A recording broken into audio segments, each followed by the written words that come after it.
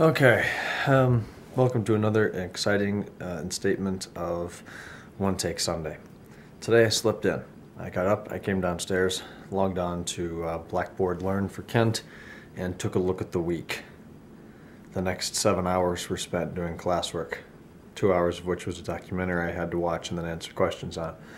This seems to be what every Sunday is. This semester has about five times the workload of any other previous semester that I have had. It's now 12:14 a.m.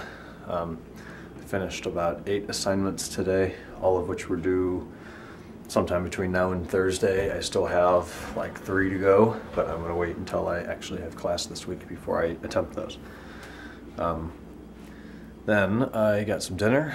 I watched uh, The Walking Dead, came back finally. That was an interesting episode. Uh, from 9 to 10, then I watched some Seinfeld and did some emails. So now it's 12. I'm going to take a shower and go to bed. So I'm sorry for a really crap vlog, but you know, these days happen and there's nothing to film. You probably don't want to see me doing Excel formulas, watching documentaries, what they was called the 1% about the wealth distribution in this country. That's interesting. If anybody's interested in that, go look at it. It's very cold. It's like negative five. It snowed three inches overnight. More and more winter. Um, but summer will be here in six months. actually, actually, it's it's February, right? It's February um, 10th. Today's Monday, technically the 10th.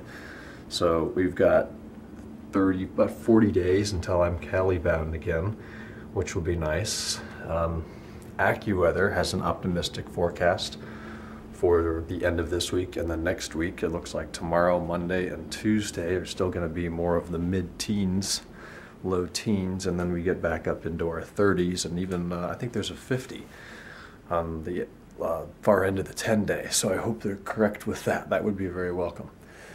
But before I get involved in something you don't want to talk about, you don't want to listen to and waste your time with, I'm going to go to bed. So tomorrow's Monday. We'll kick the week off and get it over with. Good night.